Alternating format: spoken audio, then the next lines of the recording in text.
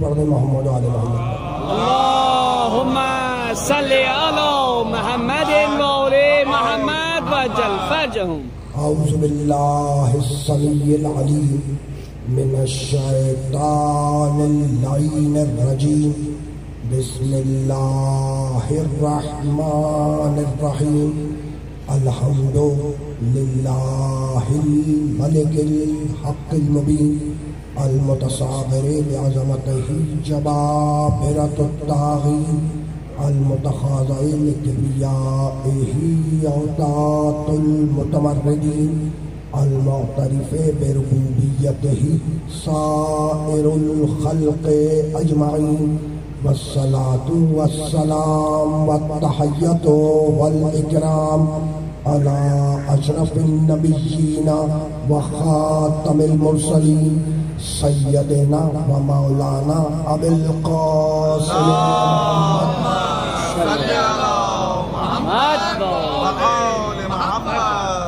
अहले बैत तय्यबीन ताहरीन अलमासूमीन अलमजलूमीन अम्मा बाद फ़कत क़ाल अल्लाह सुभानहु व तआला की महकम किताब मुबीन। बसमीम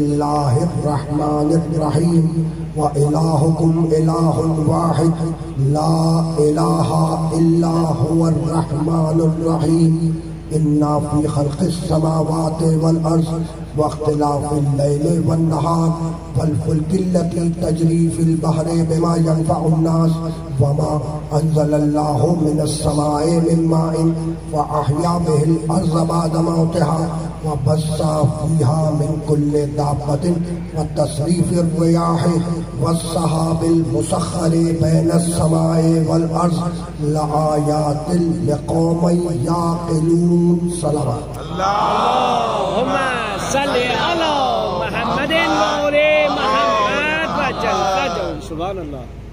अजीज़ान मोहतरम ये मजलिस इशार सवाब एक ऐसे मर्द मोमिन की इशार सवाब की मजलिस है जिनकी पूरी ज़िंदगी ज़िक्र मोहम्मद आले मोहम्मद सुनते हुए गुजरी। मरहूम जब दुनिया से रुखसत हुए तो आले मोहम्मद की मोहब्बत लेकर रुखसत हुए। और मेरे नबी ने फरमाया कि मन माता अल्लाह आले मोहम्मद माता शहीद जो भी आले मोहम्मद की मोहब्बत पर मरे माता शहीद को दुनिया से शहीद गया कुरान मजीद ने दो मकामात पर इशाद कहा।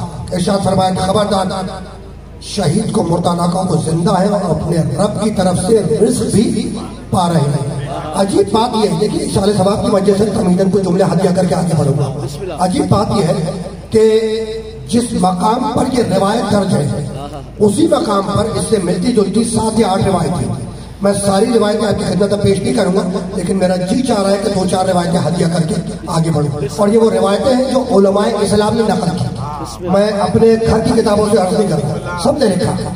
पहली रिवायत क्या है? नबी ने फरमाया, "अल माता अल्लाह आले मोहम्मद माता शहीद। जो भी आल मोहम्मद की मोहब्बत में मरे, माता शहीद वो दुनिया से शहीद एक। दूसरी रिवायत, मेरे नबी ने फरमाया मन माता, अल्लाह हुब्बे आले मोहम्मद, माता मखफूर अल्लाह, जो भी आले मोहम्मद की मोहब्बत पर मरे, माता मखफूर अल्लाह, वो दुनिया से मफरत किया हुआ तीसरी रिवायत, मेरे नबी ने फरमाया मन माता, अल्लाह हुब्बे आले मोहम्मद, माता तायबा, जो भी आले मोहम्मद की मोहब्बत पर मरे, माता तायबा, वो दुनिया से तौबा किया हुआ अब एक रिवायत और सुनो। नबी फरमा रहे मन माता अल्लाह हुब आल मोहम्मद जो भी जो भी आले मोहम्मद की मोहब्बत पर मरे अल्लाह उसकी कब्र को फरिश्तों की ज़्यादा का बना देता आले मोहम्मद की मोहब्बत पर मरे अल्लाह उसकी कब्र को फरिश्तों की जियारत का बना देता है। किसकी कब्र को? मोमिन की खबर को तो मोमिन की खबर तो फरिश्तों की ज्यारत का बन जाए अब वो जो अमीर मोमिन बन के आ जाए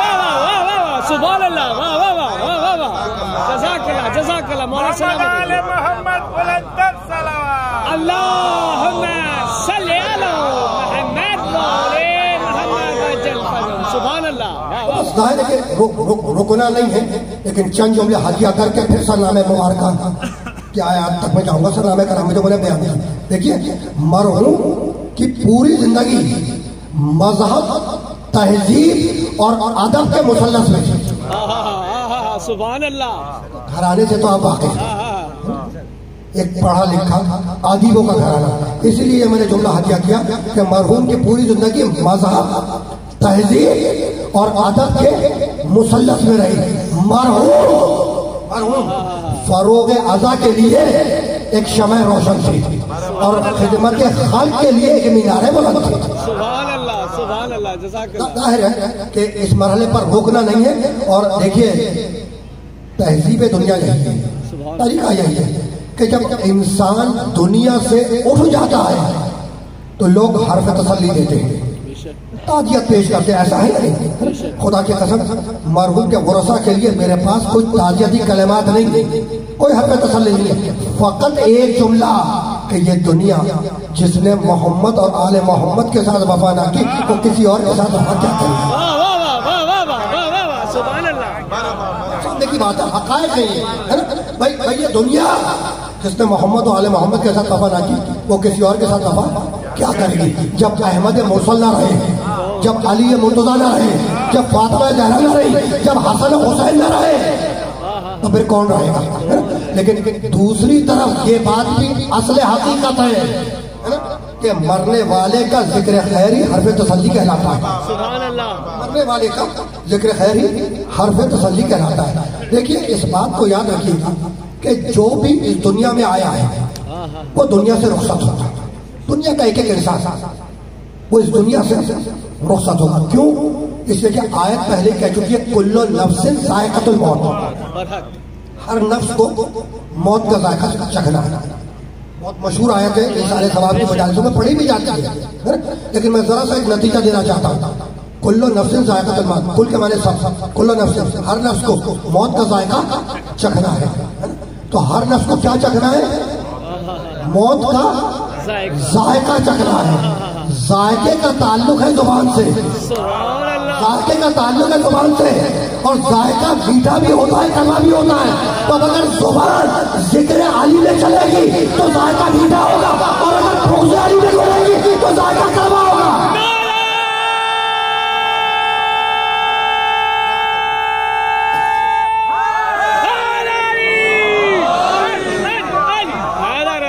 सुभान अल्लाह सुभान अल्लाह जजाक अल्लाह मौला सलामत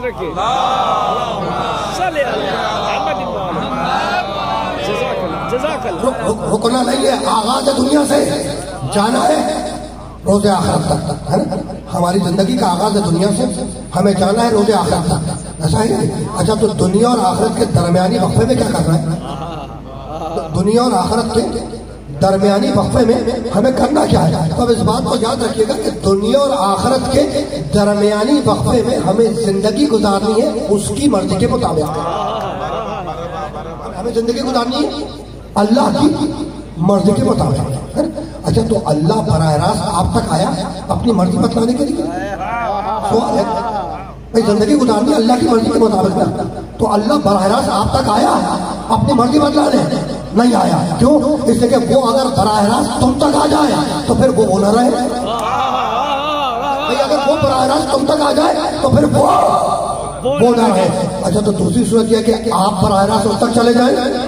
तो है ना सवाल दूसरी सेकंड चॉइस ये है कि आप बरह रास्त उस तक चले जाए। मर्ज़ी मालूम करने तो अगर आप चले गए तो वापसी का कोई इनकार तो है इसलिए कि ना अपनी मर्ज़ी से आए हो, ना अपनी मर्ज़ी से जाओगे भाई भेजे तो आना है। बुलाए तो जाना है। भेजे तो आना है। बुलाए तो जाना है। अच्छा जुमले से इस जुमले से ये अखज ना कर लीजिएगा कि इंसान मजबूर है। इस जुमले से ये अखज नहीं कीजिएगा कि इंसान मजबूर है। इस बात को याद रखिएगा कि इंसान मजबूर भी है मुख्तार भी है। इंसान मजबूर भी है, मुख्तार भी है। भाई, मैं आसान कर दूँ बात को? अल्लाह ने आपको दो आँखें दी। दी ना आँख नीले को नीला देखेगी, पीले को पीला देखेगी, काले को काला देखेगी, सबको सब देखेगी। यहाँ पे तुम्हें मजबूर रखा। और इसी आँख को आज़ाद कर दिया। अब चाहो तो इस आँख से अच्छा देखो, चाहे बुरा देखो। इंसान मजबूर भी है। मैं फलसफा जबरदस्तार की तरफ़ जाना नहीं चाहता हूँ, वरना मुझे बहुत तवील हो जाएगी। लेकिन आ गया दरम्यान में जुमला तो जुमला हद जाकर के आगे बढ़ूँगा। लेकिन इंसान मजबूर भी है, मुख्तार भी है। मजबूर भी है, मुख्तार भी है। मेरा अली खुदाल से मट्टी खोद रहा था। ऐसे में एक शख्स आ गया और आके कह लगा याली ये बताओ कि इंसान मजबूर है कि मुख्तार? खुदाल से मट्टी खोदते जाते हैं, उसके सवाल को सुनते जाते हैं। याली ये तो बताओ कि इंसान मजबूर है, मुख्तार। एक दफ़ा उसकी सूरत देखी। अब पुकार के कर लगे, आप तुरीदुल इकसार अवल इजमाल, तफसील बयान करो या मुख्तसर चाहता है। मुख्तसर बयान करो घबरा गया कि अगर अली से तफसील की फरमाइश कर दी तो खुदा मालूम फलसफे मंतकी किन वादियों में लेके चले जाते अली मुख्तसर बयान करो, मुख्तसर। अली ने सूरत देखी और पुकार के कहा कि एक पैर उठा। उठा एक पैर, उसने उठा लिया। कहा के दूसरा पैर उठा कहा के याली ये तो मुमकिन नहीं है कहा के इतना मुख्तार है इतना मज़बूत है मैं ये यहाँ तक तो सुना होगा अब मैं नतीजों को बदल रहा हूँ कहा भाई इतना मुख्तार है इतना उठा लिया और इतना मजबूर है एक पल में दोनों पाओ नहीं उठा सकता अब इंसान की किस्में समझ में आई कि जो दोनों पैर ना उठा सके वो है मजबूर और जो एक पैर उठाए, दूसरा ना उठा के वो है इंसान। और जो खैबर में दोनों पैरों को उठा के खड़ा हो जाए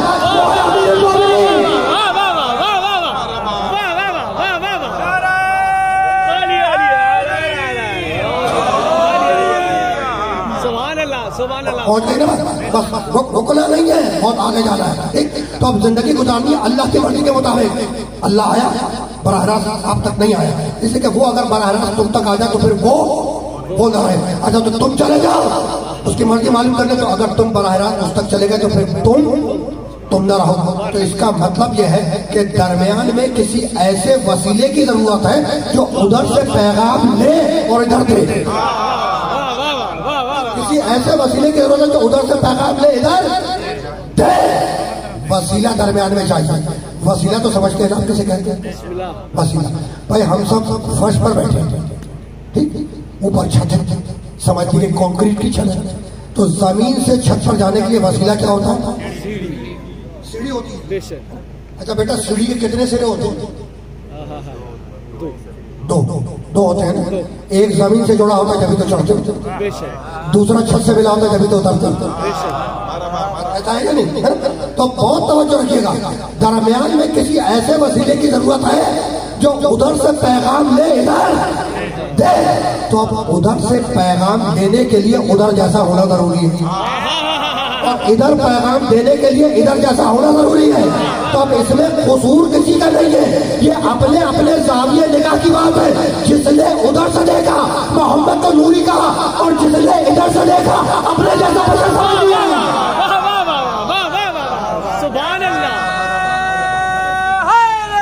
यो अली अली अली आदर आदर आदर आदर सुभान अल्लाह सलामत रहे माशा नहीं है बहुत तेज़ी के साथ आगे जाना है। तो कायनात के उस सबसे बड़े वसीले का नाम है मोहम्मद इब्ने अब्दुल्ला मोहम्मद इब्ने अब्दुल्ला देखिए ये माह रबी अव्वल चलता है।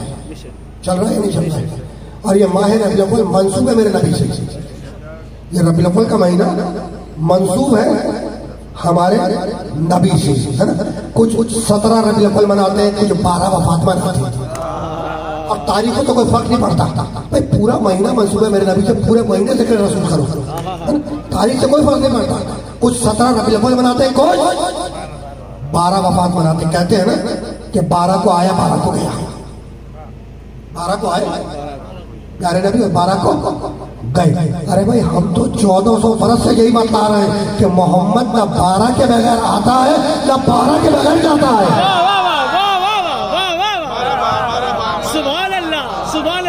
कायनात के सबसे बड़े वसीले का नाम है मोहम्मद इब्ने अब्दुल्ला। अब्दुल्ला का बेटा, आमिना का लाल, अबू तालिब का भतीजा, फातिमा का बाबा, हसनैन का नाना, अली का भाई। और ये कुरान मजीद के 114 सूरे नजला बेहरुल अमीन वाला कल्ब, मेरे नबी के कल्ब पर नाजिल कुरान मजीद के 114 सूरे कहाँ नाजिल मेरे नबी के कल्ब पर, दिल पर नाजिल हुए। पहला सूरा है सूरह हम। दूसरा सूरा है सूरह बकरा, तीसरा आल इमरान, चौथा सूरह निसा, पांचवा सूरह मायदा, छठा सूरह अनाम सातवां सूरह आराम वगैरह वगैरह अब सारे के सूरों की फहरिस्त बयान करने तो नहीं है ना? मैंने जिस आयत की तिलावत का शरफ हासिल किया सन्ना में कला वो सूरह मुबारक है, बकरा की दो मुसलसल आयतें। सूरह बकरा कुरान मजीद का तवील तरीन सूरा है, सबसे बड़ा सूरा तवील है ना? दूसरा सूरा है, और उसकी एक सौ तिरसठवीं और एक सौ चौसठवीं आयत की तिलावत का शरफ मैंने हासिल परवरदिगार आलम, इन दो आयत में ये इरशाद फरमा रहा है कि बिस्मिल्लाहिर्रहमानिर्रहीम, व इलाहुकुम इलाहुल वाहिद, तुम्हारा अल्लाह अकेला अल्लाह है। व इलाहुकुम इलाहुल वाहिद, तुम्हारा अल्लाह अकेला अल्लाह है।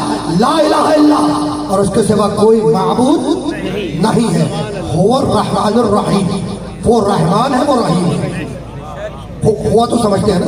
बिस्मिल्लाहिर्रहमानिर्रहीम। कुल कहो कि वो अल्लाह है तो वाहिद। तुम्हारा अल्लाह अकेला अल्लाह है।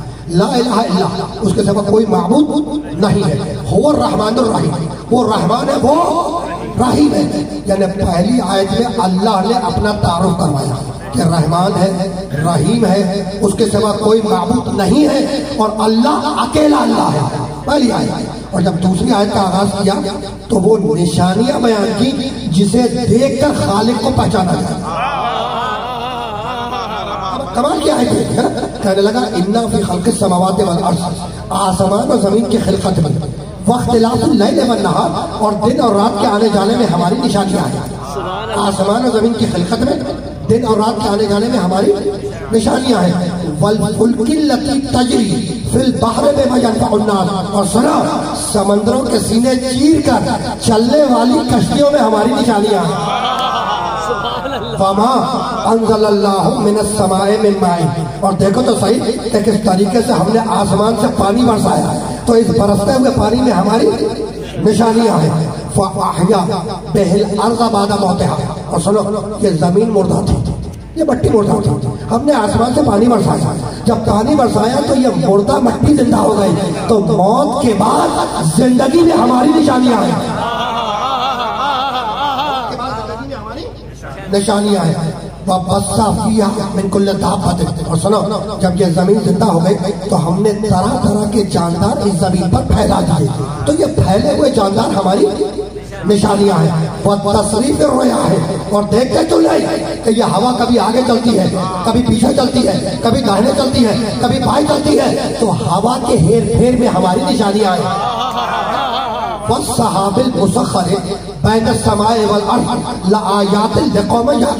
और देखो तो सही कि किस तरीके से हमने ज़मीन और आसमान के दरमियान बादलों को मुसखर कर दिया।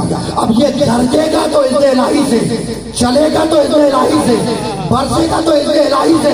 तो हमने इनमें निशानियाँ रखी हैं, अकल वालों के लिए, अहमकों के लिए नहीं सुभान अल्लाह सुभान अल्लाह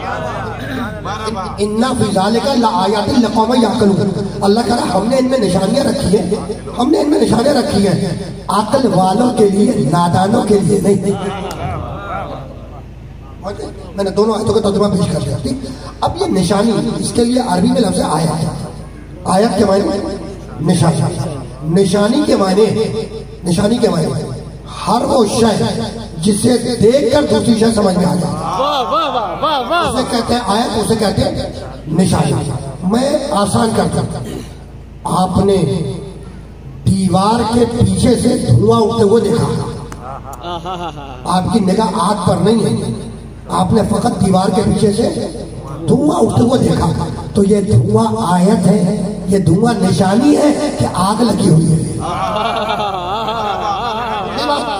तो जिसे देखकर दूसरी शय समझ में आ जाए उसका नाम है आया हर वो बहुत तवज्जो रखिएगा मैं तुम लोग को बदल रहा हूँ हर वो शय हर वो शय जो खुदा के वजूद पर दलील बन जाए उसे कहते हैं आयत हर वो शय जो अल्लाह के वजूद पर दलील बन जाए उसे कहते हैं निशानी भाई आसमान को खल किया अल्लाह ने आसमान अल्लाह की आयत है आसमान को देखो, पहचानो को उसका कोई हल करने वाला है। वो ज़मीन का खालिक है। ज़मीन को देखो, पहचानो को उसका हल करने वाला है। तो आसमान अल्लाह की आयत, ज़मीन अल्लाह की आयत, सूरज अल्लाह की आयत, चाँद अल्लाह की आयत, सितारे अल्लाह की आयत, दरिया अल्लाह की आयत खेत अल्लाह की आयत खलियान अल्लाह की आयत समंदर अल्लाह की आयत पहाड़ अल्लाह की आयत कायनात का जर्रा जर्रा अल्लाह की आयत है। और अब मेरे अली ने खुद में आवाज़ दी, बिस्मिल्लाहिर्रहमानिर्रहीम अली ने कसम खा के कहा कि खुदा की कसम, मैं अल्लाह की सबसे बड़ी आयत हूँ।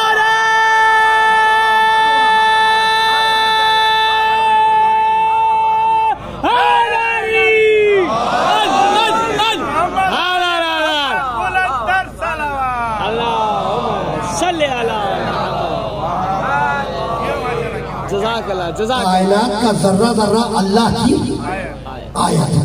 और अली ने खुतबे में क्या कहा? कसम खाई, वल्लाहि मा मिन आयत ही अकबर मिन खुदा की कसम, मैं अल्लाह की सबसे बड़ी आयत हूँ, अकबर मिन्नी मैं अल्लाह की सबसे बड़ी आयत है। अली अल्लाह की इतनी बड़ी आयत है, इतनी बड़ी आयत है कि जब तक अली अमल नहीं करता, आयत आसमान से ज़मीन पर नहीं आती। वाह बाजाहिर खिताबती जुमला है, मुझे इनकार नहीं है। बाजाहिर सुनने में अच्छा लगा, खिताबती जुमला है। लेकिन अब जरा सा दलील भी सुनते जाओ। अली अल्लाह की इतनी बड़ी आयत है कि जब तक अली अमल नहीं करता, आयत आसमान से ज़मीन पर नहीं आती। मैं आसान कर दू बात को? कहने लगा, आयत धीर उतरो। अभी शेर खुदा चादर में नहीं आया। कहा, आए जहाँ जाओ नहीं अभी तलवार उठाने वाला नहीं आया। कहा आए विलायत उतरो कहा नहीं अभी रुको में अंगूठी देने वाला नहीं आया। अल, अली अली अल्लाह की इतनी बड़ी आयत है कि जब तक अली अमल नहीं करता आयत आसमान से ज़मीन पर नहीं आती। यही तो समझाना चाह रहा हूँ कि न मेरे अव्वल का जवाब न मेरे आखिर का जवाब न मेरे पहले का जवाब न मेरे बारहवें का जवाब। जब तक पहला अमल नहीं करता आयत नहीं आती। जब तक बारवा जहूर नहीं करता कयामत नहीं आती सुभान अल्लाह अल्लाह अकबर या रसूल अल्लाह सल्लल्लाहु अलैहि वसल्लम या अली अली अली हला हला बराए खुशनुदी इमाम जमाना बुलंदर सलावत अल्लाहुम्मा सल्ली अला मुहम्मद मौली मुझे मुझे इस मरहले से बहुत तेज़ी के साथ आगे जाना है लेकिन बात जमाने के इमाम तक आ गया बात जमाने के इमाम तक आ गई। और जो हालात दिख रहे हैं ना पिछले कई सालों से वो इस बात पर दलील है कि हम जहूर मेहदी से आहिस्ता आहिस्ता करीब से करीब तक होते हैं। अल्लाह वक्त का तयन कोई नहीं कर सकता कि कब जहूर होगा। उस इमाम बरहक के जहूर का वक्त का तयन इमाम बरहक के कोई नहीं कर सकता। है ना?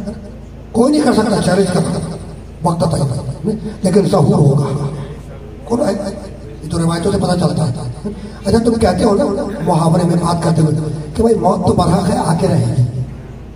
कहते हैं, नहीं कहते कि जनाब, मौत तो बरहक है, आके रहेगी। अच्छा तो वक्त किसी को मालूम है? नहीं मालूम। मौत बरहक है, आके रहेगी। वक्त नहीं मालूम। इमाम बरहक जहूर होके रहेगा, वक्त नहीं मालूम। इमाम जमाना तक बात आ गई ना तो जी चाह रहा है कि एक जुमला हत्या करके मैं गया बहुत तेज़ी के साथ, आया था कुरानी की तरफ़ फिर ना? लेकिन एक जुमला हत्या करना ज़रूरी है, जमाने के तकादे भी नहीं मजबूर कर रहे हैं ज़िक्र ज़्यादा से ज़्यादा किया जाए। लेकिन वो जिसका जहूर होना है, वो जिसका जहूर होना है, उसे मानते सब।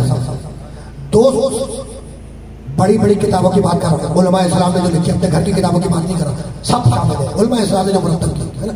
200 से ज़्यादा रिवायतें हैं, जिसमें लिखा हुआ है कि नस्ल फातिमा में से होगा। 200 से ज़्यादा।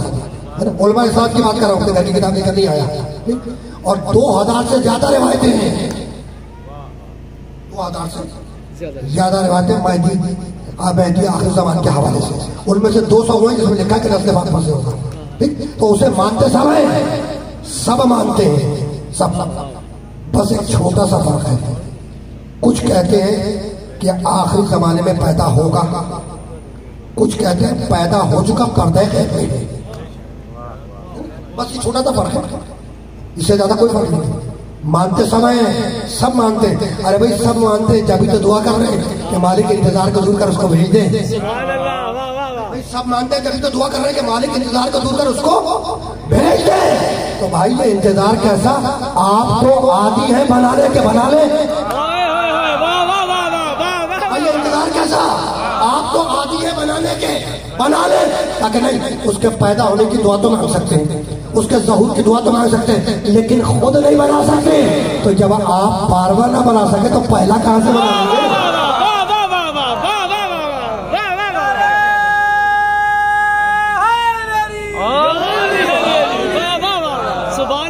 रुकना नहीं है मुझे रुकना नहीं है। लेकिन चूँकि बात यहाँ तक आ गई तो वो टीवी वाली रिवाज मुझे पढ़ दो ना किताबें कम पढ़ रहा तक वगैरह की रिवायतें ज़्यादा खोटी जाती हैं। वाह वाह और दो तरीकों से आई है रिवायत कैफा बिल्कुल और कैफा ये रमज़ान नशियात में डिस्कस भी की गई है टीवी के। ऊपर हाँ, हाँ। कैफा बिल्कुल कैफा अंतम दोनों तरीकों से आई है कि वो दिन कितना अजीब दिन होगा। वो दिन कितना अजीब दिन होगा कि जब मरियम का बेटा ईसा चौथे आसमान से नाजिल होगा। और फातिमा का बेटा मेहदी पर्दा घर से जहूर करेगा। और फातिमा का बेटा मेहदी नमाज़ पढ़ाएगा। और मरियम का बेटा ईसा। उसके पीछे नमाज़ पढ़ेगा ये रवायत तो टीवी पे भी बयान की थी। क्या कमाल की रवायत है। क्या है रवायत?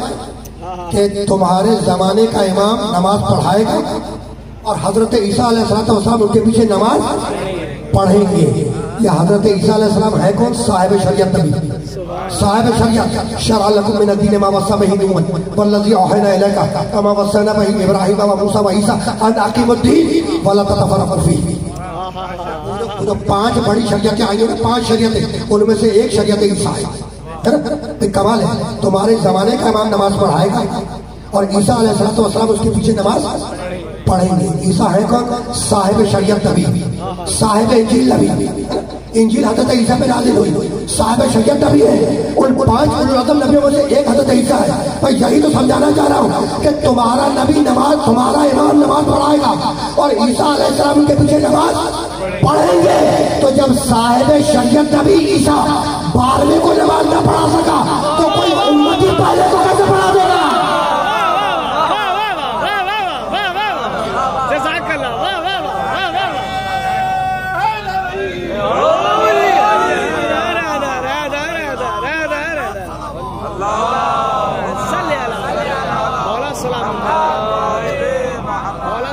सुनो ईसा के अलैहिस्सलाम के लिए भी कुरान में आयत है वाले नजलाहु आयत लिल्लाह ईसा हम तुम्हें इंसानों के लिए अपनी आयत बनाएँगे निशानी अभी फिर सही इस आयत की बात होगी लेकिन अभी तो मुझे लफ्ज आयत से वापस जाना है है तो कायनात का जर्रा जर्रा अल्लाह की आयत यानी अल्लाह की निशानी है, जिसे देखकर दूसरी शय समझ में आ जाए।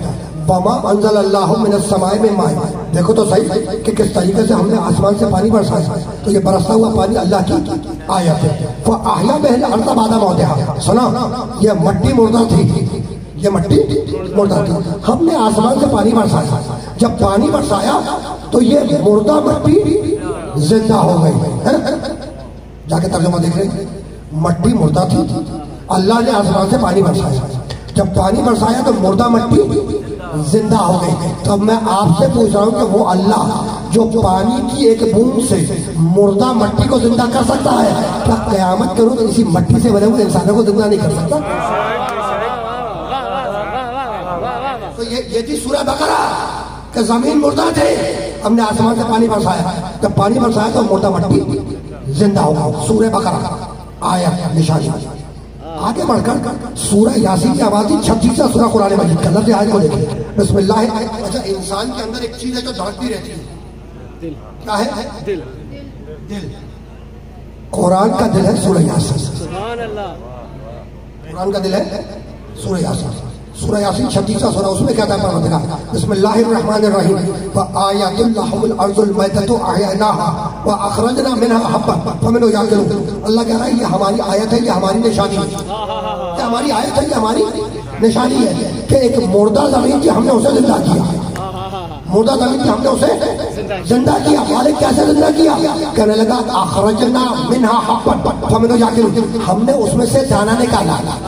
वो जिंदा हो गई तो दाना जमीन का सीधा तोड़ के बाहर आए जमीन जिंदा हो जाए और अली की आगे की दीवार तोड़ जाए काबा जिंदा हो जाए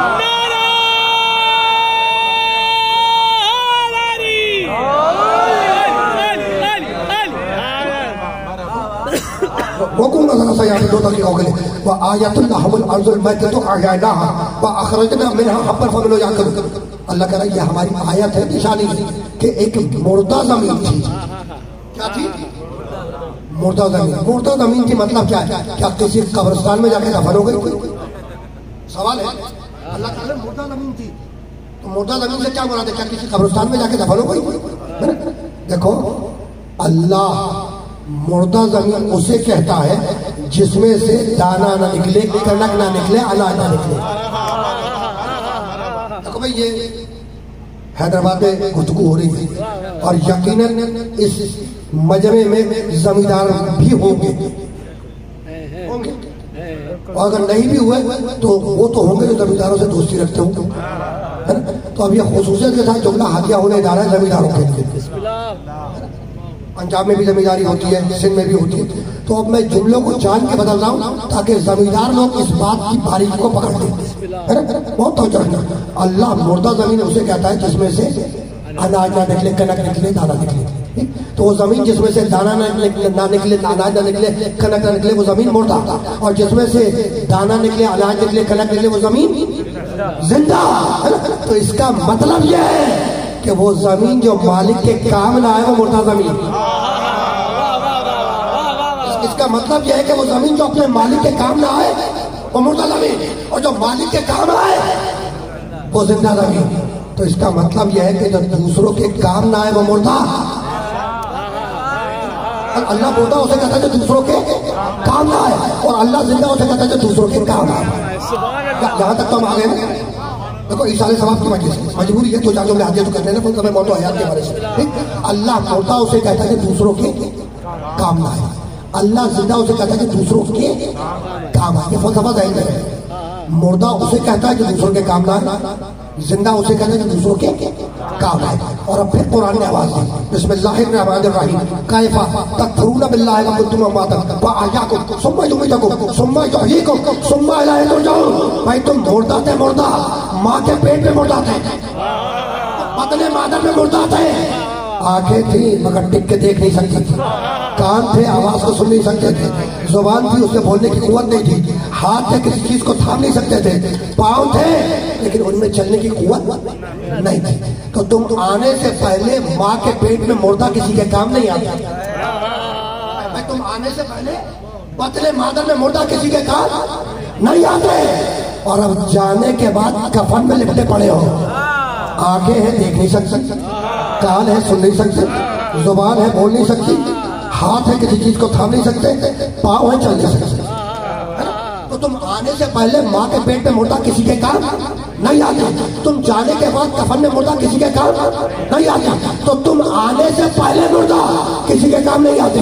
तुम जाने के बाद मुर्दा किसी के काम नहीं आते। बस एक खानदान के दो मेरे मेरे नबी ने आवाज़ दी, या अली, नसर तकुल्ला नबी सिरन, और नसर तभी सिरन में जा रहा या अली, तूने आने से पहले सारे नबियों की छुप के मदद की। तो अली ने आने से पहले नबियों की मदद करके बताया मैं आने पहले ज़िंदा और हुसैन ने नेजे पे तिलावत करके बताया कि मैं जाने के बाद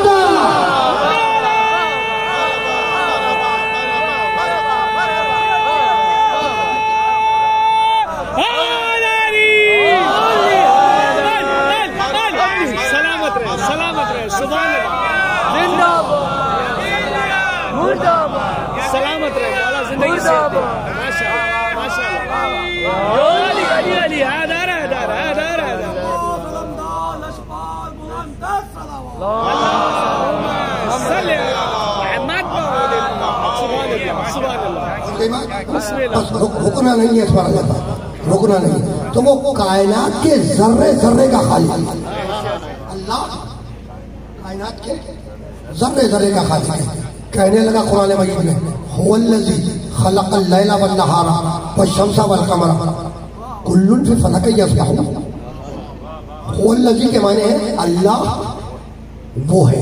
हाँ हाँ हाँ हुवल्लज़ी के माने क्या है अल्लाह वो है। आज शब जुमा लग रही है ना?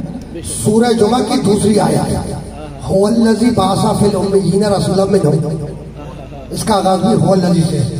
हुवल्लज़ी बासा फिल रसूलन मिनहुम ये अल्लाह वो है अल्लाह वो है जिसने उम्मियों में ऐसे रसूल को मबूस किया। अल्लाह वाह वाह वाह वाह वाह। हुवल्लज़ी के माने क्या है अल्लाह। वो है क्या कह रहा है? हुवल्लज़ी खलक़ल लैला वन नहारा। वश-शम्सा वल कमरा।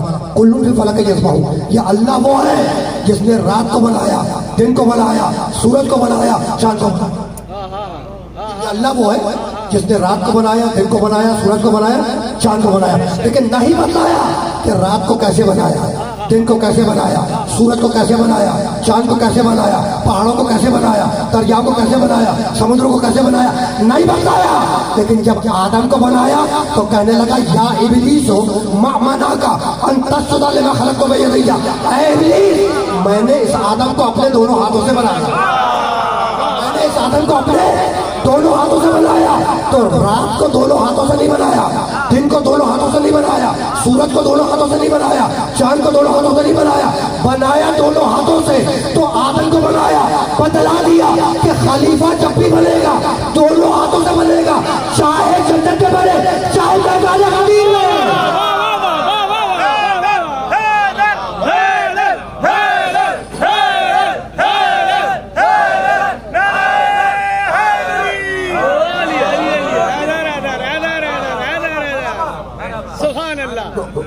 रुकना नहीं है, इस मरहले से आगे जाना है। जब आदम को बनाया तो क्या कहने लगा?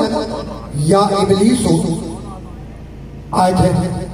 या इबलीस मना का अंतर शुदा लिमा खलक तो बेदिया या इबलीस इबलीस, मैंने इस आदम को अपने दोनों हाथों से बनाया। हदीस नहीं सुना रहा। आयत कुरान है। क्या है एक दफ़ा सुने? या इबलीस मना का अंतर शुदा या इबलीस मैंने इस आदम को अपने दोनों हाथों से बनाया। कुदरत रही है या इबलीस हो, या इबलीस हो। देखिए, मुसलमान मुआशरे में कारी है है ना? परवदगार इनकी तौफीकात में कारी किसे कहते हैं? जो किरत करता है कुरान की आयतों की किरत करता है, उसे कहते हैं कारी।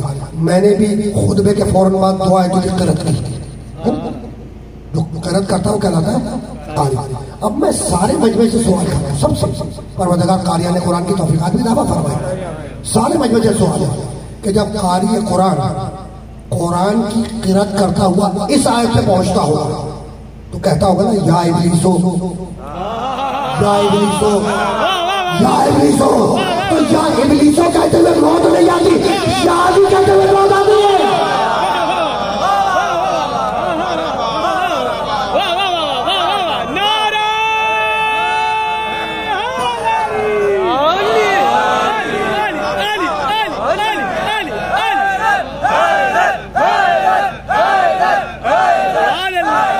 अल्लाह सलामत रखे वाह वाह वाह वाह वाह सल्ले अला मोहम्मद जियो जी वाह वाह वाह वाह वाह अल्लाह सलामत रखे ये बात तो पहुँच रही है ना? और मुश्किल बात है। आसान बात है। तो रुकना नहीं है बस? या इबलीस हो। मना का अंतस्जुद में खलक तो भैया भैया क्या कह रहा है अल्लाह? कह इबलीस, मैंने इस आदम को अपने दोनों हाथों से बनाया। है मना का अंतस्जुद सीधा क्यों नहीं करता? सीधा क्यों नहीं करता? याद है तुम्हें इबलीस का जवाब कह लगा, मालिक आना खैरों में न हो। कुरान आना खैर मनो। परवरदिगार मैं इससे अफजल हूँ। मैं इस आदम से अफजल हूँ। क्यों अफजल है? कहने लगा, मालिक खलक तनी में नार खलक तो में थी। तूने मुझे आग से बनाया, आदम को मट्टी से बनाया। तो आग से बना हूँ। अफजल हूँ। कमतर के खिलाफत तस्लीम नहीं करूँगा। इबलीस है, मगर इतना जानता है कि अफजल के होते हुए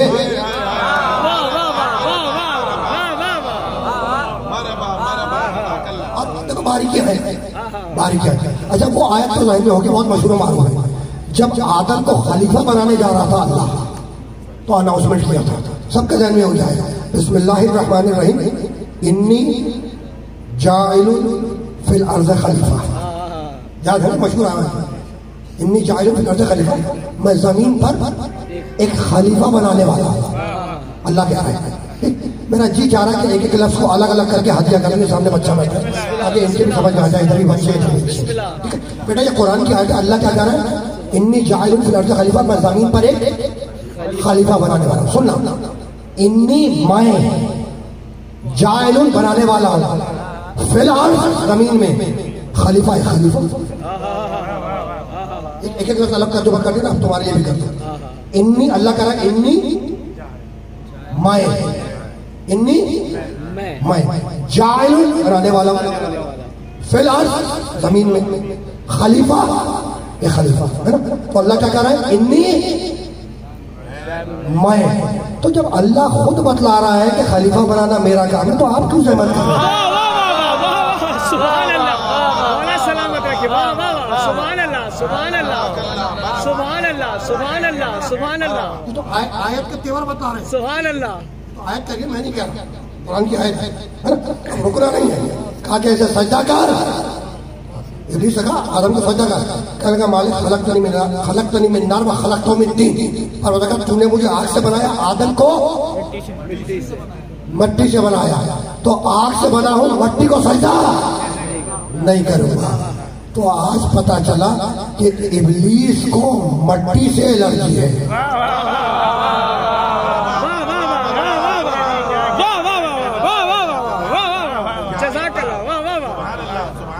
वाह इबलीस को? कह रहे हैं ना खलक तरी मीनार खलक को मिट्टी मालिक तूने मुझे आग से बनाया, आदम को मट्टी से बनाया आग से बनाओ मट्टी को सजा नहीं करूँगा। ठीक है? तो इबलीस को मट्टी से एलर्जी है।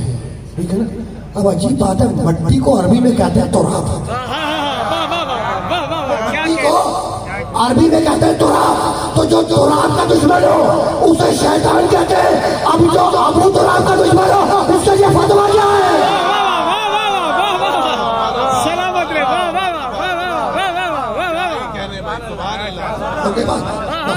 रुकना नहीं है।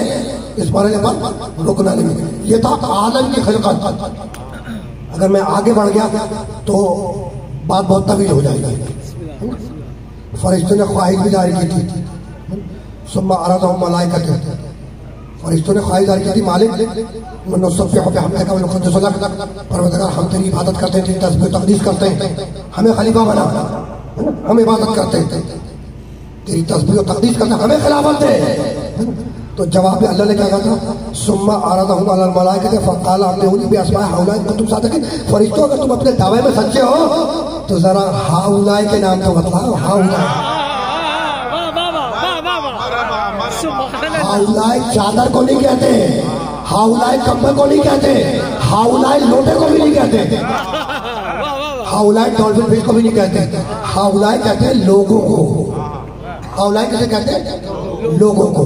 अल्लाह क्या कर रहा है कि फरिश्तों, अगर तुम खिलाफत में इंटरेस्टेड हो, अपने दावे में सच्चे हो तो जरा इन लोगों के नाम तो बतलाओ। ना? इन लोगों के नाम तो बतलाओ। भाई, कमाल हो गया। अभी तो आदम बने नहीं। जनाब हवा से शादी हुई हुई। तो जब आदम बनेंगे जनाब हवा की शादी होगी हालिद खालिद पैदा होंगे जब तो लोग आएँगे ना। चलो मैं कहना चाहिए जा रहा हूँ कि अभी तो ना लाइफ है ना वाइफ लोग कहाँ से आ गए? तो है ये लोग कहाँ से आ गए? तो इसका मतलब यह है कि आदम की खिलकत से पहले कुछ लोग आए। तो मतलब यह है कि आदम की खिलकत से पहले कुछ लोग? आए कौन है वो लोग? मुझे नहीं मालूम। लेकिन मुझे ये मालूम है कि अगर फरिश्ते इन लोगों के नाम बता दें तो खिलाफत में जाए। तो जिनके नाम फरिश्तों को खिलाफत बांटे, वो क्या आपके पास आएँगे?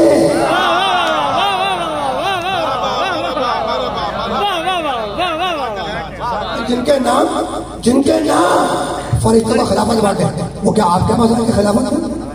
ऐसा ऐसा तो मुमकिन नहीं है ना। तो जब इनकार कर दिया फरिश्तों ने विड्रॉ कर लिया ये कह कह ला इल्मा लना इल्ला मा अल्लमतना मालिक हम तो बस उतना जानते जितना तुमने बता दिया।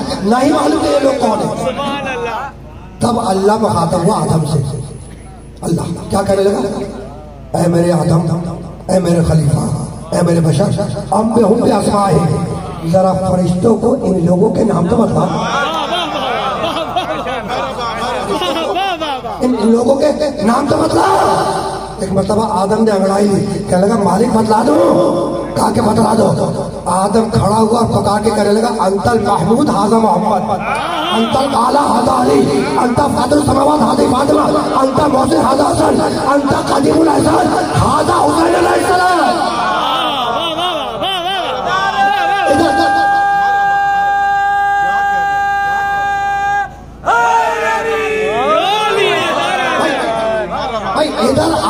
पंचतन के नाम बताए मोहम्मद अली फातिमा हसन हुसैन। आदम ने पंचतन के नाम बताए है। पंचतन अल्लाह थोड़ा फरिश्तों की तरफ़। कहने लगा, फरिश्ता, उस उर्दू ने आदम अब आदम को सजा करो। अब आदम को सजा करो। तो जब फरिश्ते, देखो, जब पंचतन के नाम बता दिए ना पंचतन के नाम आदम ने बता दिए, तब आदम को सजदा भी हुआ। आदम को आदम नाम भी मिला। तो जब पंचतन के नाम ना बतलाकर आदम आदम न रहे तो आप आदमी कैसे रह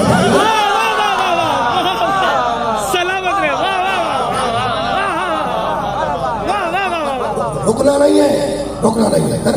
और अब ज़ाहिर है दामन वक्त में इतनी गुंजाइश नहीं है तफसीली बात हो लेकिन अभी तकरीबन पंद्रह सोलह दकीके हैं मैं थोड़ा सा और आगे जा सकता हूँ। तो रुकना नहीं है। तो आदम ने पंचतन के नाम बताए अंतल महमूद हाजा मोहम्मद। मालिक तू महमूद है ये मोहम्मद है? अंतल आला हाजा अली, तू आला है अली है? अंता फातिर समावत, हाजी फातिमा। तू फातिर समावत ये फातिमा जहरा है। अंतल मोहसिन हाजा हसन, तू मोहसिन है ये हसन? है अंता कदीम एहसान हाजा हुसैन मालिक तो खदीम हसन नहीं है हुसैन ठीक? तो आदम ने पंचतन के नाम बताए। मोहम्मद अली फातिमा हसन। हुसैन तुम्हें यह भी याद होगा कि हज़रत आदम से जब तरके औला हुआ और आसमान से ज़मीन पर आए, देखो बड़े बड़े बुज़ुर्गों ने ये रिवायत को नकल किया किताब अपने घर की किताब से अर्ज़ कर रहा। आदम से जब तरके औला हुआ था गुना नहीं था तरके औला। तरके औला। वो गुना नहीं कहलाता। तरके औला कहलाता तरके औला का मतलब जो बहुत अच्छा काम था, उसे छोड़कर कम अच्छा काम किया इसलिए अगर वो गुना होता तो खाया तो जनाब हवा में नहीं, नहीं था। ना जनाब हवा को तो अल्लाह ने नहीं डांटा वो कथा को डांटा वो काम खिलाफ इंसानियत नहीं था। खिलाफ इंसानियत होता तो गुना होता। वो था तर्क औला जो बहुत अच्छा काम था। उसको छोड़कर आदम ने कम अच्छा काम किया। क्या कहलाया? तर्के औला। तो जिसने औला को छोड़ा वो आसमान से ज़मीन पर आया। अब अगर कोई मौला को छोड़ दे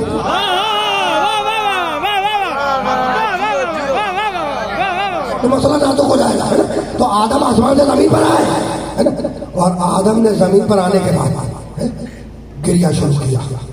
गिरिया शुरू किया, रोना शुरू किया जब गिरिया शुरू किया, रोना शुरू किया तो अल्लाह का ज़मीन आया। और पैगाम लेकर आया कि अल्लाह ने पैगाम करवाया कि अगर तुम चाहते हो कि तुम्हें उस तरह की औलाद पर बख्श दिया जाए तो मैं दुआ पढ़ता जाता तुम उसको दोहरा दिया तो बख्श दिए जाओगे अब अब अब दुआ पढ़ना शुरू किया लगे अल्लाह बेहक मोहम्मद व अली व फातिमा हसन, व हुसैन।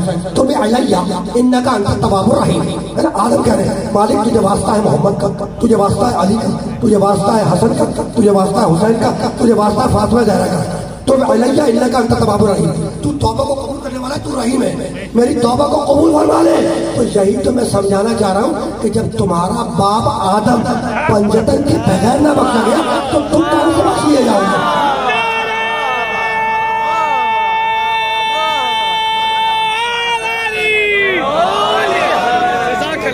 सलामत रखे आपको। खानदान जहरा उलमा इस्लाम ने लिखा है।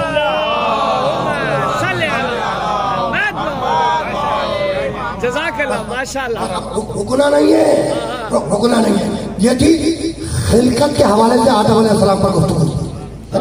आदम की तकलीफ़ बहुत सी आयतें मैंने तो कब पढ़? पढ़ी बहुत सी आयतें। ठीक है? तो अब तक जो मैं गुफ्तगू कर रहा था वो हमारे और आपके बाप आदम की खिलकत के हवाले से है ना? अब जरा सा कुछ अपनी खिलकत के मतलब भी सुनते।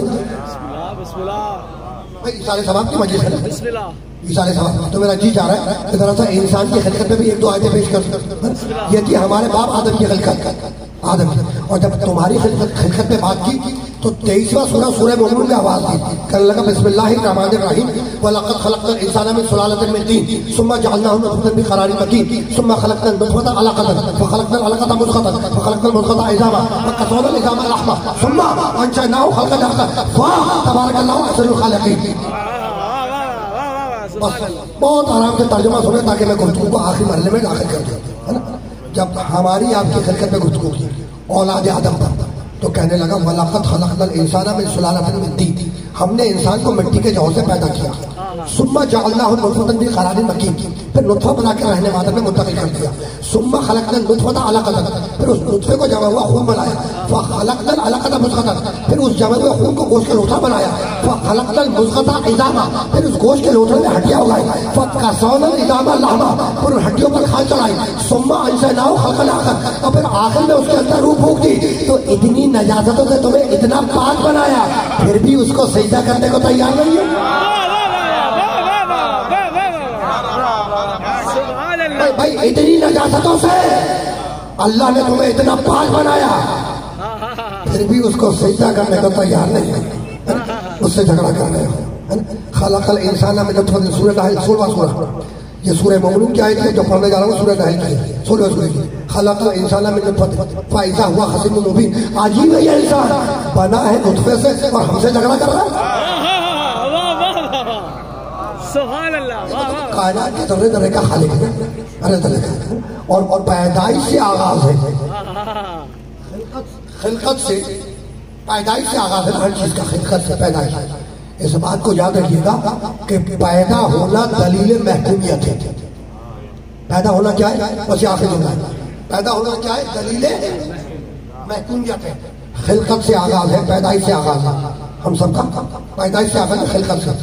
पैदा होना दलील महकूमियत है मैं आसान कर दूँ बात मैं रियाज जौहरी अपने बाप के घर में पैदा हुआ।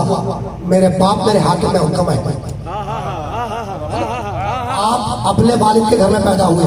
आपके वालिद हाकिम आप उनके महकूम कोई मेरे घर में पैदा हुआ, मैं उसका हाकिम वो मेरा महकूम तो ये पैदा होना दलील महकूमियत है समझ में आ गई पैदा होना दलील महकूमियत है? मैं अपने बाप के घर में पैदा हुआ, मेरे बाप हाकिम है उनका महकूम आप अपने बाप के घर में पैदा हुए, आपके बाप हाकिम आप उनके महकूम कोई मेरे घर में पैदा हुआ, मैं उसका हाकिम वो मेरा महकूम तो पैदा होना दलील महकूमियत है। यही सबब है कि नबी की पैदाइश से पहले नबी के बाप को उठा लिया कि कहीं मोहम्मद बाप का महकूम न बनने पाए।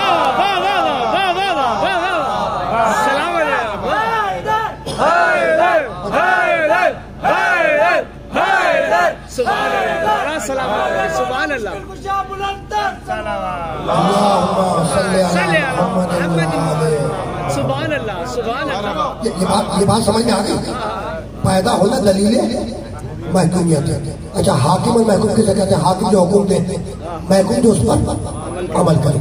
तो पैदा होना दलील महकूमियत मैं अपने बाप के घर में पैदा हुआ मेरे बाप हाकिम और उनका महकूम कोई मेरे घर में पैदा हुआ, मैं उसका हाकिम हूँ मैं महकूम मैं मैं महकूम? आप अपने वालिद के घर में पैदा हुए, आपके वालिद हाकिम आप उनके महकूम तो पैदा होना दलील महकूमियत है? यही सबब है कि नबी की पैदाइश से पहले, नबी के बाप को उठा लिया कि कहीं मोहम्मद बाप का महकूम न बनने पाए। तो जिसे बाप का महकूम न बनने देना था, उसके बाप को उठा लिया और जिसके बाप को नहीं उठाया, उसे बाप के घर में पैदा नहीं किया, अपने घर में पैदा किया।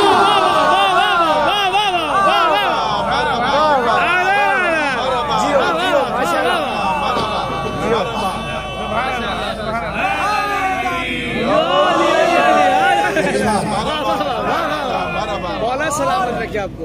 पीछे वाले सामने जो दीवार के कनाट के साथ बैठे भैया बातें बहुत चलिए आपने हाथों को बुलंद किया।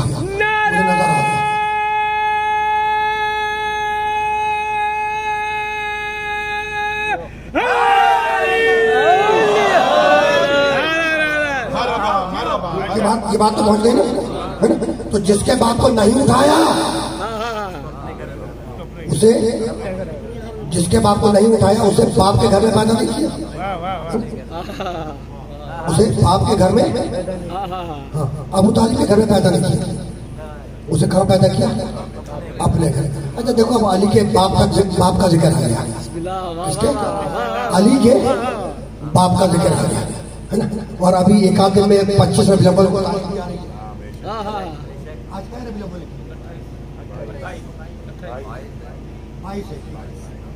पच्चीस को आने वाली तो अब जब कुदरती तौर पर मेरे ज़ुबान से निकल आया जुमला अबू तो रुक के एक जुमला तो हत्या करी थी बिस्मिल्लाह। फिर आया तो इंशाल्लाह पूरी मस्जिद हत्या अबू तालिब पे ही पढ़ सुभान लेकिन गजाए फ़िक्र के लिए एक जुमला तो हत्या कर दो। इसे के बाद अली के बाप तक आ गया।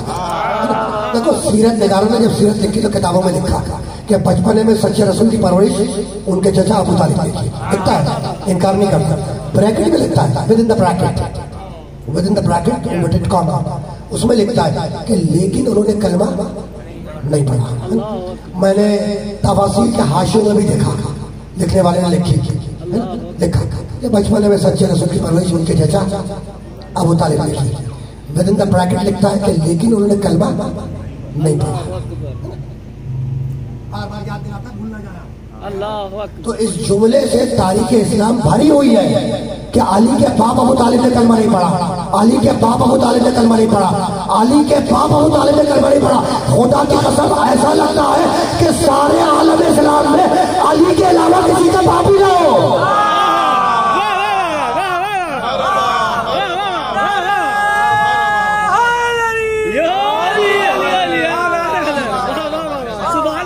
बस एक एक एक जुमला हत्या करूँ और बात को तमाम करूँ? ना? भाई यही है ना अली के बाप अबू तालिब ने कलमा नहीं पढ़ा। अली के बाप अबू तालिब ने कलमा नहीं पढ़ा। अरे भाई कलमा नहीं पढ़ा। सच्चे रसूल का निकाह तो पढ़ा।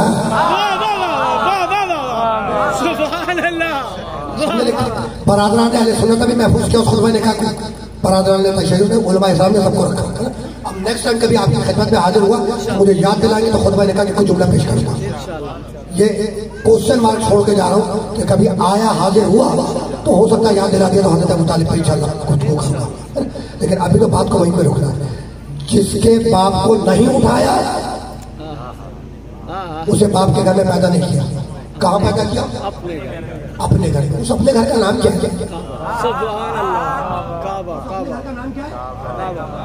खाने का? कुरान में आए थे बिस्मिल्लाहिर्रहमानिर्रहीम इन्ना अव्वल बैतिन वुज़िअ लिन्नास लल्लज़ी बिबक्कता मुबारकन व हुदल लिलआलमीन इन्ना अव्वल बैतिन इन्ना अव्वल लिन्नास अल्लाह कहता है सबसे पहला बैत इन्ना अव्वल बैत सबसे पहला बैत जो हमने वज़ू किया वो मक्के में है। हाँ हाँ सबसे पहला बैत। है ना? बैत के माने घर। बैत के माने घर। अरबी में घर को बैत कहते हैं। अरबी में बैत कहते हैं घर को। है ना? इंग्लिश में हाउस कहते हैं, फारसी में खाने मंजिल कहते हैं। ऐसा ही ना? उर्दू में घर कहते हैं। तो अल्लाह का सबसे पहला बैत बैतुल्ला जो हमने उधर किया मक्के में। बैत के माने घर बैतुल्ला के माने अल्लाह का। इस ज़मीन के ऊपर लाखों करोड़ों अरबों खरबों घर हैं। है भाई, ज़मीन पे लाखों करोड़ों घर है ना? लेकिन कोई घर कपड़े नहीं पहनता वाह वाह वाह भाई ज़मीन पर लाखों करोड़ों अरबों घर है। लेकिन कोई घर कपड़े नहीं पहनता। हमने घरों पर कपड़े टंगे हुए देखे। सुखाने के लिए टांगे जाते हैं, धूप दिखाने के लिए टांगे जाते हैं लेकिन कोई भी घर कपड़ा नहीं पहनता। बैतुल्ला अल्लाह का घर, बैतुल्ला अल्लाह का घर। वाहिद घर है जो कपड़े पहनता है और सुना, नीले पीले नहीं पहनता, काले पहनता।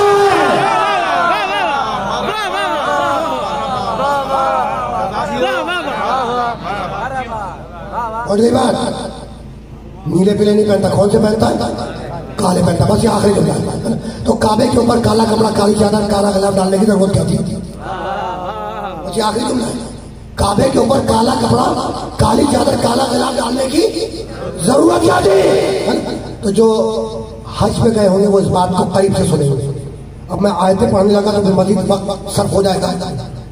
और वक्त में इतनी ज़्यादा गुंजाइश नहीं है बात को तकलीफ़ देना चाहता हूँ। लेकिन जो हज में गए हैं, वो इस बात को करीब से समझेंगे सवाल पे सुनो काबे के ऊपर काली चादर, काला कपड़ा, काला गुलाब डालने की ज़रूरत है? तो देखो, एक है बैतुल्ला, अल्लाह का घर, खाने का बाबा और दूसरे कहलाते हैं हरम। कराते नहीं कराते जिन्होंने हज किया होगा, वो इस बात की तारीफ़ करेंगे कि भाई हज के लिए तुम गए। जहाज़ से उतरे, बस में बैठे, मक्के की तरफ़ चले। मक्के बैतुल्ला से काबे से कई किलोमीटर एक जगह बोर्ड लगा होता है तख्ती। उस तख्ती पे लिखा होता है कि इस मकाम से मुशरिक का आगे जाना ममनू है। लिखा होता है। तो एक तो हाजी हो गए यकीन लेकिन गवाहियाँ दो चाहिए। इधर हाँ, दो मैंने इसलिए कही कि अल्लाह सूरह रात में कहता है तेरवा सूरह कुरान मजीद का। यकुल लजीना कफर लस्ता मुरसला कुल कफा बिल्लाह शहीदन बैनी व बैनकुम व मन इंदहु इल्मुल किताब वह यकुल लजीना कफर लस्ता मुरसला काफिर कहते हैं और कहते रहेंगे कि तू रसूल नहीं है काफिर कहते हैं और कहते रहेंगे कि तू रसूल नहीं है कौन मेरे मोहम्मद से कह दे कफा बिल्ला है शहीदन पैनी व पैना वमन इंदहुल किताब मेरी रसालत की गवाही के लिए दो काफ़ी है एक अल्लाह और दूसरे वो मन जिसके पास किताब का पूरा है। अगर ये मैं मन समझाने बैठ गया तो मुझे फिर आधी दर्जन तकरीबन आयतें पढ़नी पड़ जाएगी छह ना? तो कभी फिर आया तो इंशाल्लाह सुना दूँगा, लेकिन पैगाम ज़रूर देता जाऊँगा कि ये मन जो है, ये तोड़ने वाला मन नहीं है। तुम समझ रहे हो कि आज मन से कम की बात ही नहीं कर रहे ये तोड़ने वाला मन नहीं है, ये कुरान का मन है और पैगाम यही है कि कुरान के इस मन को अपने मन में बसा दो। अल्लाह मन की मुरादें पूरी करेगा रोकना नहीं है तो काबे के ऊपर काला कपड़ा, काली चादर, काला गला डालने की ज़रूरत क्या क्या क्या अब आप तो हंस में तो भाई कहीं उतरे बस से आए, एक मकाम पे तख्त ले लिए, इस मकाम से मुश्किल का आगे जाना, ममनू है। और आयत भी अभी मैं पढ़ रहा था, किसी ने कुछ सवाल पूछा था, उसका जवाब दे रहा था, किसी के ऑफ़िस में बैठा हुआ था। इन नमल मुशरकुंड नजस है ना बैठे होंगे वहाँ सुन रहे होंगे उनको ही मैंने आज सुनाई थी है ना इन नमल मशहूर नजस ये मुशरक नजस है है ना और खबरदार खबरदार ये मस्जिदुल हराम के करीब ना आने ठीक है ना तो अब काबे पे काली चादर काला कपड़ा काला गुलाब डालने की ज़रूरत क्या है तो बात को लेते हैं एक है बैतुल्ला अल्लाह का घर और दूसरा है हदूद हरम एक हो गया बैतुल्ला, अल्लाह का घर खाने का दूसरे क्या हो गए? हदूद हरम। तो कैसे पता चले कि कहाँ तक हदूद हरम? और कहाँ से बैतुल्ला अल्लाह का? घर पीछे वाले जो बैठे भाई, कैसे पता चले कि कहाँ तक हदूद हरम? और कहाँ से अल्लाह का घर? तो चादर डाल के बतलाया। चादर डाल के बताया कि जो चादर के अंदर वो मेरा घर, और जो चादर के बाहर वो उर्दू दे रहा मेरे नबी ने भी नहीं किया। चादर फातिमा डाल के बताया कि जो चादर के अंदर वो मेरे घर वाले और जो चादर के बाहर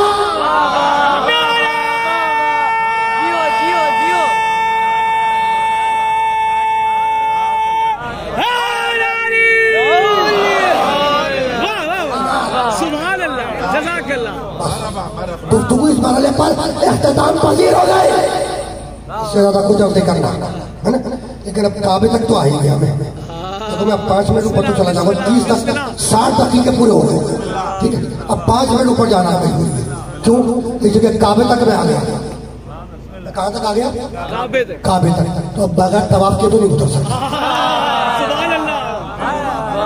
तो जो हत्या करना। कुल है? बात मुकम्मल हो गई। है ना? अच्छा तो काबे में कौन आया? है? अली आया। आपने कह दिया मैंने मान लिया। ठीक? लेकिन हवाला ज़रूरी है दोस्तों के लिए। वक्त बेबस होकर पड़ जाती है। शवाहिद नबुआ मौला मौलाना अब्दुल रहमान जान शवाहिद नबुआ मदारिज नबुआ से अल मुस्तदरक हाकिम निशाम तीनों बुज़ुर्गों का ताल्लुक बरादरान सुन्नत से। परवदगार इनके तराजात बुलंद फरमाए। इन तीनों बुज़ुर्गों ने मेरे पास हवाले तीन से ज़्यादा है। मैंने तीन पहचान के रोक दिया काफ़ी तो इन तीनों बुज़ुर्गों ने अपनी अपनी किताबों में लिखा है कि अबू तालिब का बेटा अली काबे के अंदर पैदा हुआ। ऐसा कहानियाँ नहीं है ऐसा कहानियाँ हवाले जान के लिए है ना? तो बस ये आखिरी जुमला मैंने कहा काबे तक आगे तवाफ के बगैर कैसे उतरो इसलिए तबरुका ने जुमला हत्या करो बात मुकम्मल हो गई है ना? अच्छा तो आ, आ, कौन पैदा हुआ काबे में? अली। पैदा हुआ है ना? तो जनाब बिनते असद सलाम अली की माँ बिनते असद सलाम है ना? वो घर जनाब वालदाए वालदा अमीरुल मोमिनीन अली इब्न अबी तालिब आवाज़ बुलंद सलाम। सल्ले अला मुहम्मदिन मौले मोहम्मद सब वाक्य तो आपका सुना हुआ है। सबने सुना हुआ होगा ना? अली काबे में पैदा हुआ। मैं सिर्फ़ नतीजे को बदलूँगा एक जुमले से बस। वाक्य सुना हुआ है। बल्कि वाक्य तो मैं आपसे सुनना चाहता था जब अली की विलादत का वक्त आया तो अली की माँ बिनते हसन घर से निकल के कहा आई? काबे? काबे पे आए। तो काबे पे कहा कहा? काबे की दीवार पर। कहा भैया? कहा गई काबे पर? काबे की दीवार पर।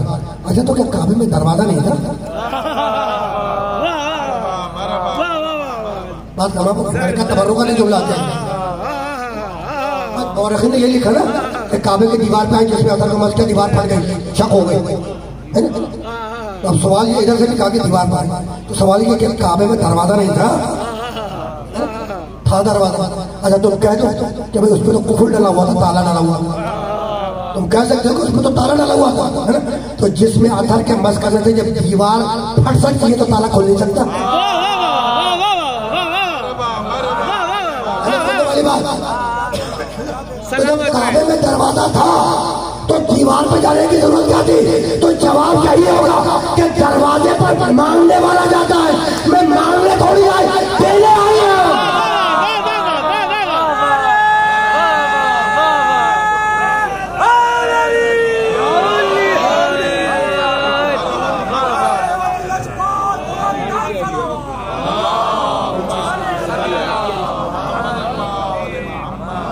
हूँ तमाम हो गई गुफ्तगु इस मरहले पर तमाम मांग के तो निकली थी। मांग के तो निकली थी। और अपने लिए नहीं मांगा था। अली के बाप ने भी मांगा अली की माँ ने भी मांगा। अपने अपने लिए नहीं। चाहिए नबी मोहम्मद रसूलुल्लाह के लिए। और खुद मोहम्मद रसूलुल्लाह ने मांगा। क्या भूल गए कुरान की आयत? अभी आपके ऑफ़िस में हाँ, आपके ऑफ़िस में मैंने पूरी आयत नहीं पढ़ी थी।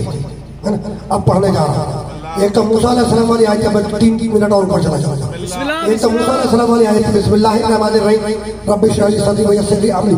वाहलुल उक़दतम मिन लिसानी यफ़क़हू वजअलनी वज़ीरन मिन अहली हारून अख़ी मूसा अलैहिस्सलाम की दुआ और ये दुआ थी मेरे नबी की। कौन? अभी भी इनसे कह दो रब्बे अदखलनी मुदखला सिद्क़ व अखरिजनी मुखरज मुखरज सिद्क़ वजअलनी मिन लदुनका सुल्ताना नसीरा। हबीब दुआ मांगो कि मालिक अपने पास से सुल्तान नसीर दे दे।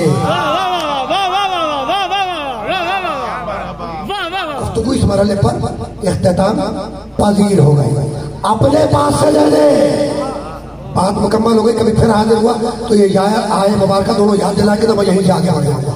अभी मैं बात को रोक है ना? अली पर आके बात होगी। है आयत कुरानी तोहीद से मैंने आगाज़ किया, अपने प्यारे नबी का तस्करा किया, आखिरी नबी का खातम नबी, फिर मैं आखिर में आ गया अली पर। अली इब्न अबी तालिब का पर आता ये क्यों किया मैंने ऐसे? इसलिए कि नबी की हदीस है मेरे नबी की। नबी ने फरमाया जयलू मजाल सकूँ में ज़िक्र अली इब्न अबी तालिब। सबने लिखा है, सबने। घर की किताब से नहीं कर रहा नबी कह रहे हैं, अपनी मस्जिदों को जीनत बख्शो ज़िक्र अली से। तुम्हें रसूल है कि मस्जिदों को जीनत बख्शो ज़िक्र अली से? तो वो मजलिस मनहूस है जिसमें ज़िक्र अली ना हो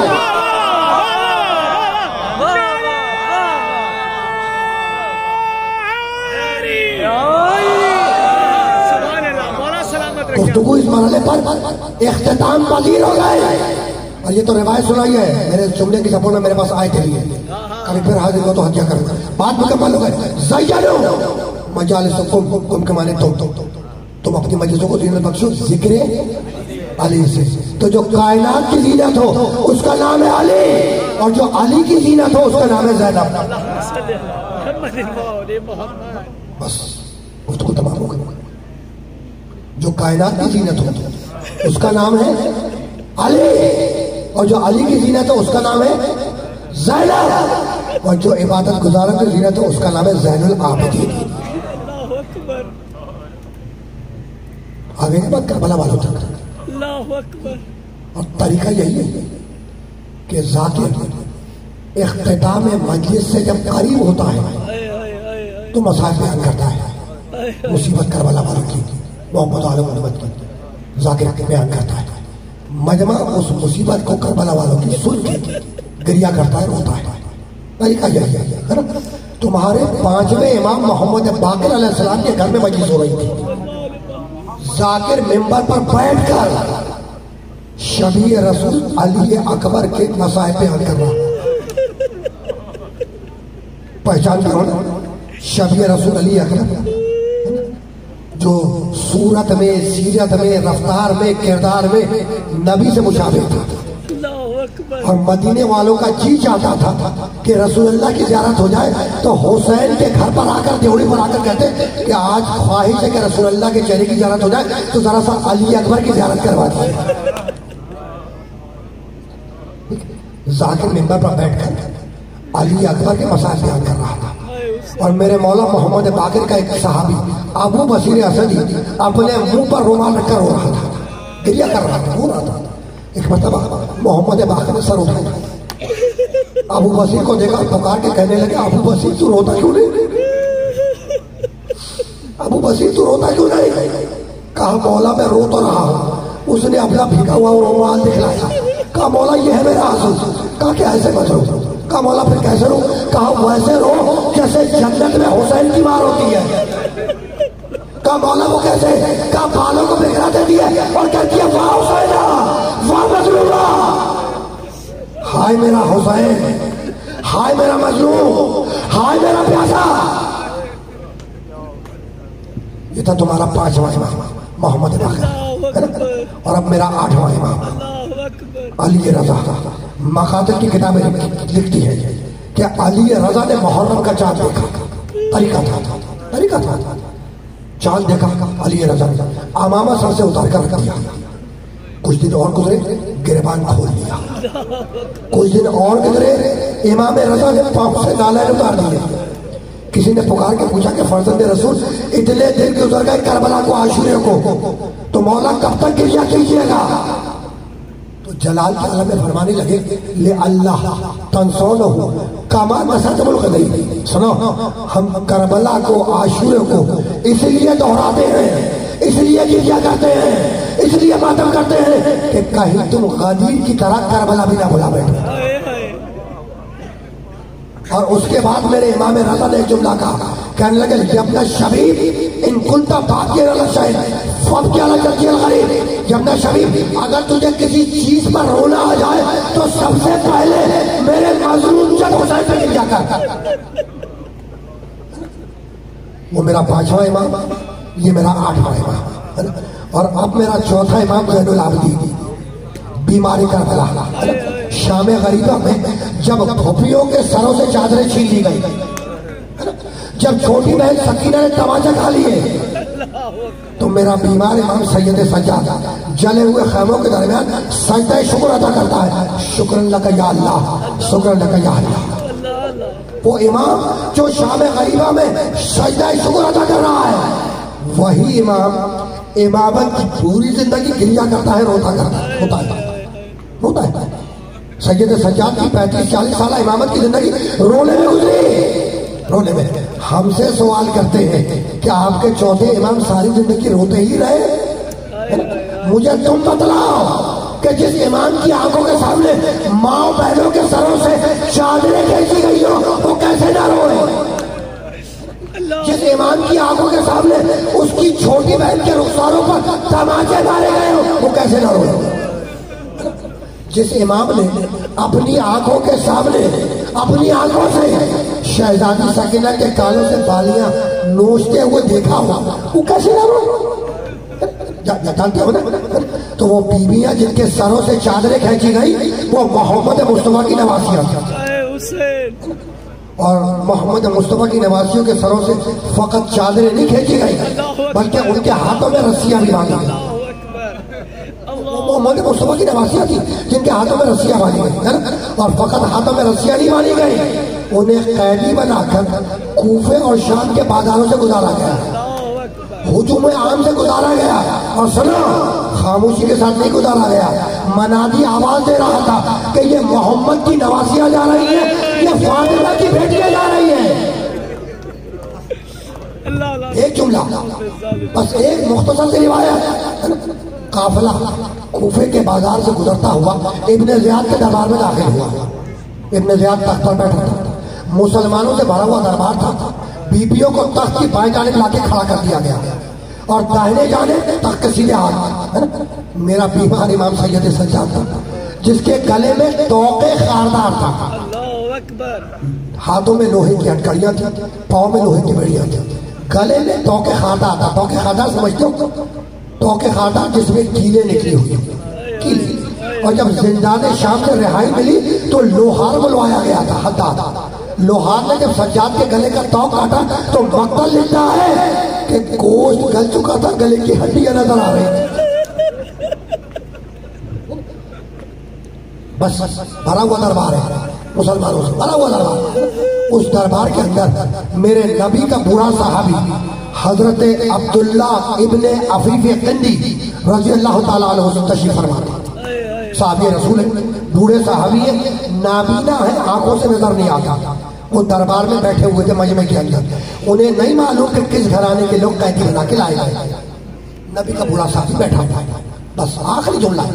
एक मरतबा इब्ने जियाद ने तख्त की बाएँ था, देखा कि मोहम्मद मुस्तफ़ा की नवासियाँ जिनके सरों पे चादरें है वो झुकी हुई खड़ी हुई सीधी नहीं खड़ी होती। पूछने लगा, फौजी से कि बीबियाँ सीधी क्यों नहीं खड़ी होती? कहा कि अमीर जिन रस्सियों में, इन बीबियों के बाजू वाले हैं शाने उसी रस्सी में एक छोटी बच्ची का गला भी तो बना है। अगर ये बीबियाँ सीधी खड़ी हो जाए तो उस बच्ची का दम उड़ जाएगा। कहा कि रस्सियों को ढीला करो, इनको बैठने की इजाज़त दो। बीबियाँ बैठ गई। जब बीबियाँ बैठ गई तो इब्ने जियाद ने कहा, अपने फौजी से कि जरा इन बीबियों का तारुफ तो करवाओ। सैयद सज्जाद के सामने एक एक बीबी का नाम ले लेकर तारुफ हुआ। जब सबका तारुफ हो गया तो इब्ने जियाद ने उंगली से इशारा किया। कहने लगा, वो बीबी कौन है जो तमाम बीबियों के झुरमट में अपने आप को छुपाना चाहती है? कहा कि अमीर आहिस्ता बोल, वही तो है अली की बड़ी बेटी लेना। अभी बाज़ार कूफा में खुतबा देके आ रही है। कहा कि नहीं, मैं अली की बेटी से कुछ बातें करना चाहता हूँ। बस ये सुनना था कि दरबार के फौजी वो ताजियाना लेके बीबियों के करीब पहुँचे। चाहते थे कि बीबियों में ताजियाना बरसाए, एक मतलब शहजादी जगत दरमियान से खड़ी हो गई। और पुकार के कहने लगी, इब्ने जियाद इब्ने जियाद, तू मुझसे क्या बात करना चाहता है? जैसे ही शहजादी जैनब की आवाज़ दरबार में गूंजी, नबी का बूढ़ा साथी घबरा गया। घबरा के खड़ा हो गया और बराबर वाले से पूछने लगा कि क्या कयामत आ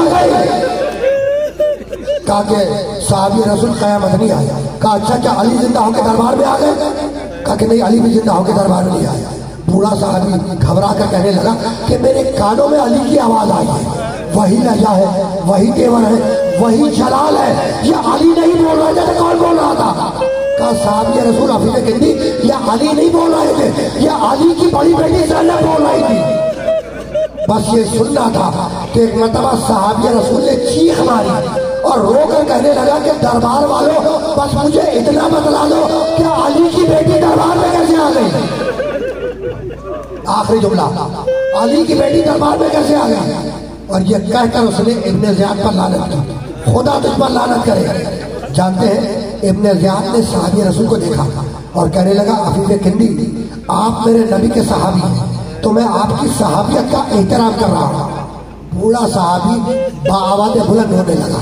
और रोकर कहने लगा कि तू मेरी सहाबियत का एहतराम कर रहा है और मोहम्मद की नवासी को दरबार में बुला रहा है खुदा तुझ पर लालत करे। जब दूसरी मरतबा कहा खुदा पर लानत करे तो इब्ने जियाद को गुस्सा आ गया। दरबार के फौजियों से कहा, आगे बढ़ो और इस साहबी रसूल की कदर कलम कर दो। फौजी तलवारें अलग करके आगे बढ़े। साहबी को कत्ल करने के लिए उसी दरबार में बनु किंदा कबीले के बहुत से जवान थे।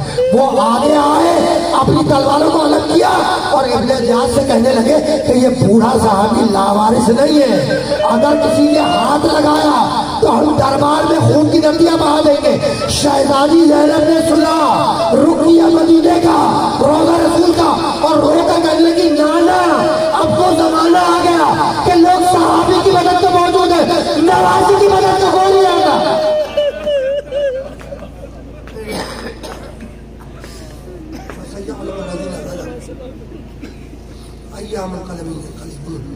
रब्बना तकब्बल मिन्ना इन्नका अंतस समीउल अलीम परवरदिगार ज़िक्र मोहम्मद और आले मोहम्मद के सदक़े मरहूम के दर्जात बुलंद फरमा। मालिक मरहूम को मोहम्मद आले मोहम्मद के दर की गुलामी अता फरमा। परवरदिगार मरहूम की मगफरत फरमा। परवरदिगार भरोसा को सब्र जमील अता फरमा। मालिक हमें मोहम्मद आले मोहम्मद के बताए वो सूरत ज़िंदगी गुजारने की तौफीक अता फरमा। हमें जो अली ने शफा कामला अता फरमा। हमें जो औलाद उन्हें सालेह औलाद फरमा परवरदिगार हमें मोहम्मद आले मोहम्मद के बताए हुए उसूलों पर ज़िंदगी गुजारने की तौफीक अता फरमा मालिक इमाम जमाना की दौर में ताजी फरमा। सूर्य फातिहा की दरख्वास्त में नाम नहीं देता हूँ। आप हजरा सूर्य फातिहा पढ़ दें। मिर्ज़ा सलमान बेग, वो अहलिया मिर्ज़ा सलमान बेग, अहलिया मिर्ज़ा आशिक हुसैन, मिर्ज़ा जाकिर हुसैन वालदेन मिर्ज़ा सलमान बेग और तमाम मोमिनात जो मरहूमिन हो गए शोजा मिलत जाफरिया, उन सब लिए सूर्य फातिहा।